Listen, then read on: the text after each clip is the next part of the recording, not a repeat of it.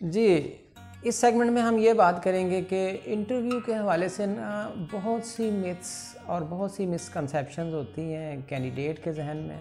मिसाल के तौर पे सबसे ज़्यादा जो वो परेशान होता है, वो जब इंटरव्यू के लिए पहुँचता है तो देखता है कि ना आगे पचास लोग इंटरव्यू के लिए आए हुए हैं।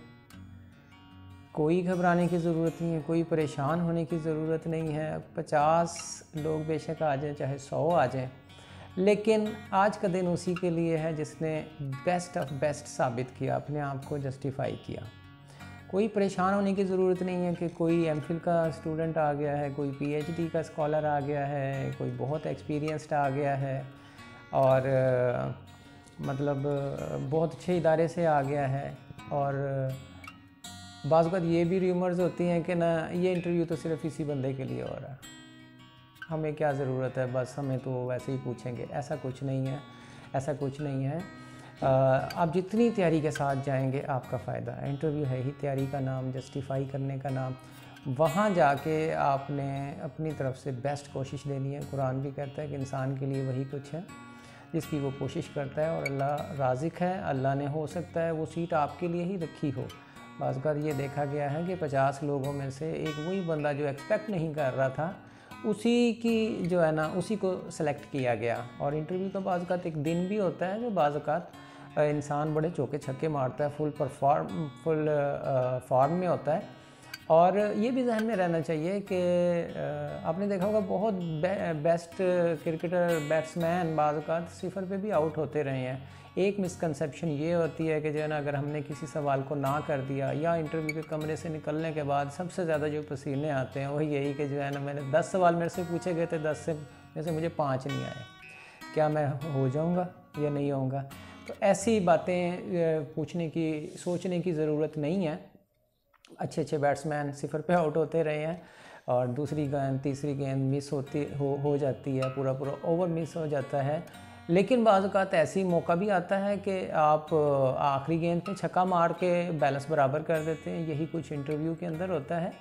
वहाँ आपने सबसे पहले जो मैं इसको डिस्कस करने की कोशिश करूँगा कि किसी सवाल के जवाब में आपको अगर बहुत मुश्किल सवाल है, नहीं आ रहा। नहीं आ रहा तो आप हल्की सी मुस्कुराहट के साथ, फुल कॉन्फिडेंस के साथ, आँखों में आँखें डाल के आई कांटेक्ट के साथ। सर, मेरे, मैं इसके बारे में ज़्यादा नहीं जानता। मुझे इसका अभी इतना तजर्बा नहीं है। ये आप साफ़ लफ्ज़ों में कह सकते हैं। और अगर आपको ऐसा लगता है कि थोड़ा सा जवाब आता है मुझे और थोड़ा सा नहीं आता, वो भी आप ऑनेस्टली बताएँगे इसको कि, सर, मुझे इसका इतना आइडिया है और इससे आगे नहीं मैं जानता। इससे क्या अंदाज़ा होगा सुनने वाले के जहन के ऊपर कि ना ये सच बोलता है, जो इसके अंदर है, वही बाहर है, इसने झूठ बोलने की कोशिश की, नहीं की, इसने डबल क्रॉस करने की कोशिश नहीं की, और अगर ये आज सच बोल रहा है तो ये कल भी सच बोलेगा। वरना उनके जहन में ये आ सकता है कि आज ये हमें डबल क्रॉस करने की कोशिश कर रहा है, और वो सीज़न लोग होते हैं, एक लम्हे में पहचान जाते हैं कि इंसान कितना सच बोल रहा है, कितना झूठ बोल रहा है, और अंदाज़ा हो जाता है। टेक्निकल लोग होते हैं, आपकी एक एक गुफ्तु से अंदाज़ा हो जाता है कि ये वहाँ से होके भी आया है कि नहीं, इसको इस सॉफ्टवेयर का, इस चीज़ का तजर्बा भी है या नहीं? इसको ये जो एक्सपीरियंस ये थियोरेटिकल बातें तो नहीं कर रहा। तो उतना ही अपने आप को पोज करना है जितना आप हों। और स्कूल एग्ज़ाम या कॉलेज एग्ज़ाम्स की तरह, इसको यूनिवर्सिटी एग्ज़ाम्स की तरह नहीं लेना, इसकी बाकायदा तैयारी की ज़रूरत है। जो तैयारी के साथ जाएगा वो एकदम जो है ना क्लिक करके आएगा वहाँ से। और उम्मीद करता हूँ कि आप जो है ना अपनी फुल तैयारी के साथ जाएँगे और अच्छी परफॉर्मेंस दे के आएँगे। और आपने कोई डरना या झिझकना नहीं है। कॉन्फिडेंस आपके निशित से भी नज़र आ जाता है निशित तो बरखास्त से। कैसे आप बैठे हुए हैं? किस तरह गुफ्तु कर रहे हैं? आपकी आवाज़ से पता चलता है। आप थोड़ा सा ऊँचा ज़रूर बोलना है आपने। आँखों में आँखें डाल के ज़रूर बात करनी है आपने।